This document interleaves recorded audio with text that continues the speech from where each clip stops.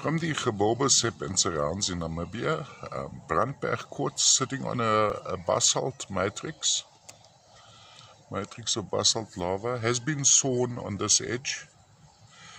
Um, very difficult to, to photograph the lighter material. What we have here, the green would be uh, prehnite, then the, the darker green over there would be some epidote, the, the cubic crystals over here would be calcite crystals. So mainly zeolite minerals uh, associated with the, the uh, Brandberg quartz, of course.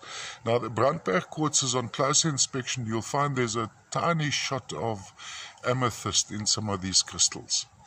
Uh, from a display point of view, um, has been sawn to basically stand like this. So on a turntable, you'd have it going around like this.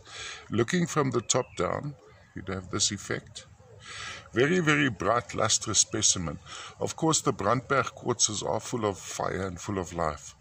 I'm actually very pleased to be able to present a video on this guy. This looks a lot better than my still pictures because what happens, the camera tends to, um, there's so much to look at and it's all lighter material that the camera sort of washes it out, the color. Quite, quite lovely just go.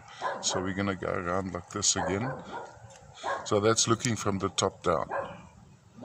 And there's a little dusting most likely some uh, little um, crystals of uh, what are we analcime possibly some analcime crystals sitting on there too